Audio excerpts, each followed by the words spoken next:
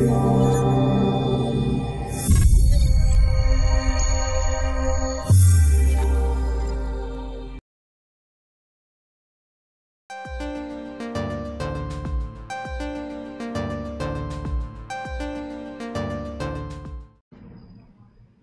again, everybody. It's uh, been a long time since I posted my last clip. Uh, this would be a good case to uh, return back uh, to our activities. Uh, since we have uh, lots of juniors and students asking about several things regarding chest radiographs, I'd chosen this case, which is also a very good case for reminding myself and other seniors about a few tricks not to miss abnormalities on a chest radiograph. This is a young uh, patient who presents with fever and cough. The ER physician is sending you the case to exclude pneumonia. This is the frontal chest radiograph. And here's the lateral radiograph. Now, this is a different normal case before we proceed with the abnormalities on the other symptomatic patient. Now, to those who did not notice an abnormality on that abnormal case, the first thing that we have to emphasize is that there is lung behind the heart. Don't forget that. So when you assess the lung parenchyma for pneumonia, don't forget to look in the retrocardiac regions, which has lung as well.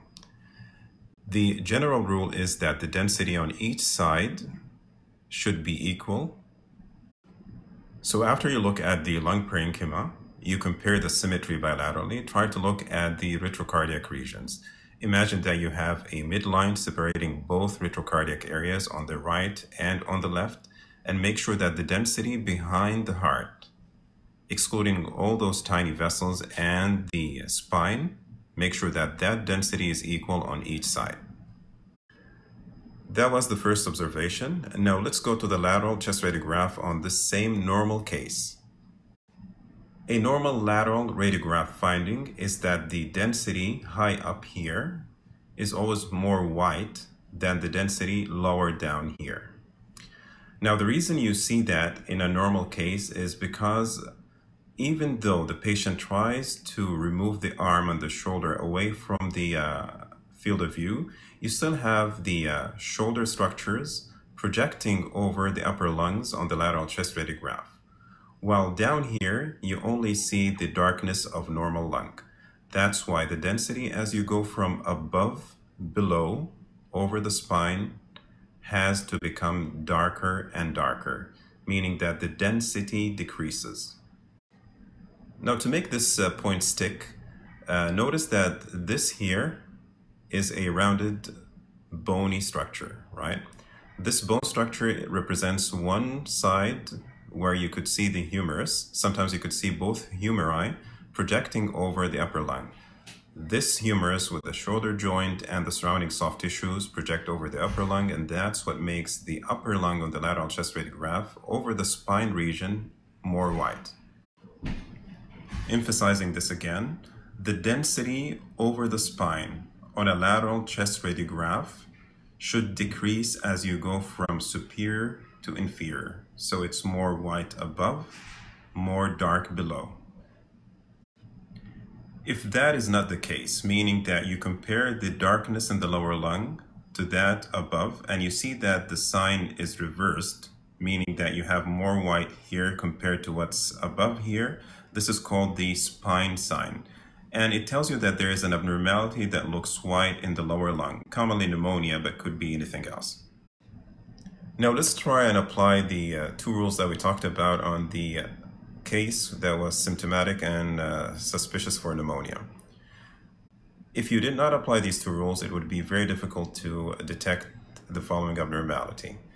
Look at the retrocardiac area, compare it on both left and right side, here it's a bit tough to compare on the right side because the patient is uh, mildly rotated where you don't see most of the right side of the heart, but you could see that there is an additional abnormality that's more than what's expected for just vessels. There is an opacity in the left retrocardiac region.